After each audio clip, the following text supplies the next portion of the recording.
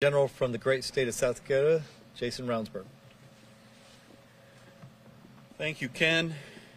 Thank you for your hospitality, and also thank you to all the people of Texas for your hospitality, but also all your hard work in secure, seeking to secure our border. One of the things I learned is about all the efforts that Texas has made to secure our border where our nation has failed.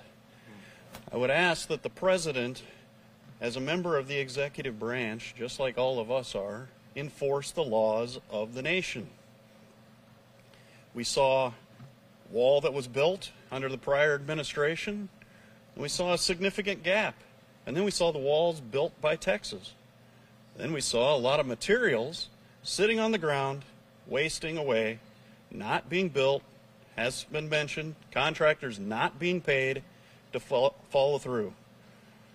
That's your taxpayer dollars at work or not at work. And I think all of us should be ashamed of that conduct. President's out working to secure the Ukrainian border. Should spend a little time securing our own border. So I would implore you, Mr. President, to do your job, secure this border, and protect all Americans from human trafficking and fentanyl and methamphetamines. Last year in my state, we didn't bust any labs for methamphetamines because it's all coming from right down here.